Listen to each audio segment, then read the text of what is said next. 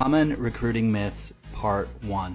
My name is Joel Lalgee. I've been in recruiting for coming up to a decade. I run a number of recruiting podcasts where I interview both agency leaders and internal talent leaders. I also engage all the time on LinkedIn and have a following of over 100,000, and I'm also active on Twitter. So I am basically talking about recruiting with everybody all day. But there are a lot of myths out there about recruiting, so I'm going to clear some of these up in this series. So, a very common misconception and something that career coaches talk a lot about is the ATS.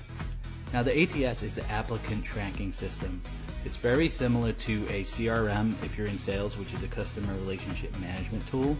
But essentially, it allows recruiters to track applications as they come in, track the uh, movement of candidates as they go through the hiring process, and it also allows them to monitor and build up a database of people that they've interviewed, people who are interested, who have indicated that through application, and hopefully market to them so in the future if things change or if another position opens up, they're very easily accessible and they can reach these candidates. But the lie that's out there is that somehow the ATS is uh, a computer program that is essentially screening out people based on what they have on their resume, and that is just not true.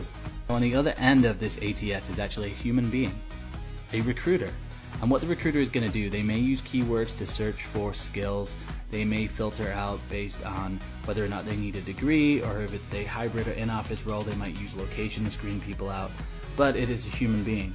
A lot of career coaches will sell a program that teaches you how to hack the ATS or use certain keywords to get through the ATS. The only problem with that logic is if you get through the ATS, then you actually just get through to a recruiter, a human being. And what they're going to do is they're going to look at your resume logically, they're going to look at the companies you worked at, and then they're also going to cross reference that with other tools like LinkedIn.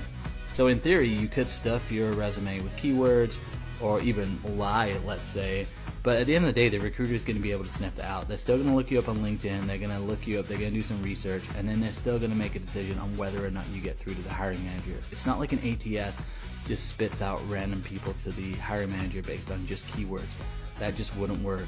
Next time you hear a career coach talking about the ATS like a robot or it's like some computer that's out to get you, don't listen to a word they say because it's just not true.